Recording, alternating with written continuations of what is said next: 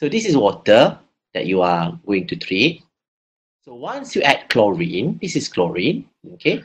So it will form an iron hydrogen, I'm sorry, a, a hydrogen ion, and also the chloride ion, and another, one kind of acid, and we call it as HOCl or hypochlorous acid.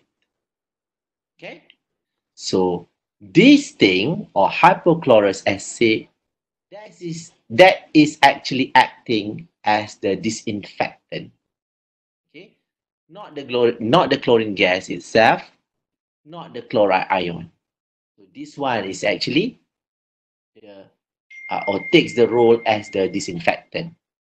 Okay, or in other words, hypochlorous acid kills the bacteria, okay, the pathogenic microorganism. So the fact that the hypochlorous acid present in water, it will be a reacting reversible reaction. So hypochlorous acid can sometimes change to hypochlorite ion and hydrogen ion, and sometimes it will change back to hypochlorous acid. So hypochlorous acid can disinfect water. So does hypochlorite ion. These two are the disinfectant, if you like. Okay, hypochlorous acid and hypochlorite ion. And they are called free chlorine. Okay, so these two can kill bacteria very well and they are called free chlorine.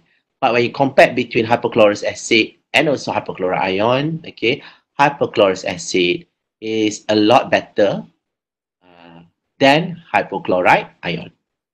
It's more effective in uh, becoming the disinfectant. Um, as if that, you know, this one is like, if I can make an, a simple analogy, okay, hypochlorous acid is like a first class student. Okay, very good okay, compared to the hypochlorite ion, it's, you know, it's a second class apple. It's not that bad, but, you know, reality is this one is better than this one. Okay, so that is the thing that you need to know. Right. Because of this is a reverse, reversible reaction, okay, so according to Le Chatelier principle, okay, if you do a change in in a reversible in a reversible reaction, okay, uh, the reaction will do the opposite. So what it means, okay, if uh, in the water, we try to make the water more acidic. When we talk about making it more acidic, that means we are adding more hydrogen ion. So according to Le Chatelier principle, instead, uh, because of we are adding more hydrogen inside in, uh, in this equation or inside the water, okay, that that has uh, hypochlorous acid. So the reaction will tend to do opposite, to do something else. Okay, so we keep adding hydrogen, so it will try to produce more and more and more hypochlorous acid. But let's say in the water, you want to make it more alkaline. That means you are taking out hydrogen ion. So Le Chatelier's principle says that the equation will the reaction will tend to go to the right directions, to these directions. That means we are producing more hypochlorite ion at greater pH.